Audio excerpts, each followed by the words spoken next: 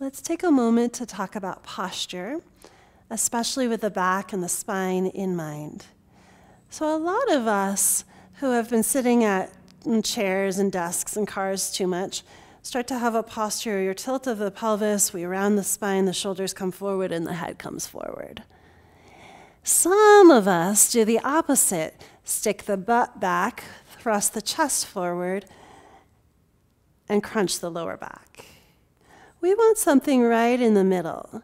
So take some time to find that place where you feel some broadening through the lower back, the tailbone heavy, a slight engagement of the belly. Then stack your shoulders right over your hips and your inner ears right over your shoulders. From there, release the arms, slightly rolling the shoulders back and down. So there's an engagement of the lower belly and a broadening through the lower back.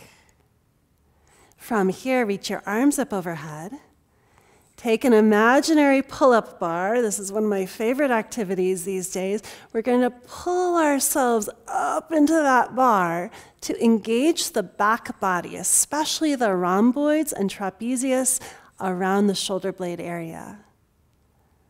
Keep all of that engaged. Feel that action through the back body. This is going to help you stand up straighter as you release the hands down to the ground. Inhale, reach the arms up overhead. And then this time, exhale, bend the knees into Utkatasana or chair pose. So here we will stick the butt back a little bit, not too far back. You don't want any crunching through the low back.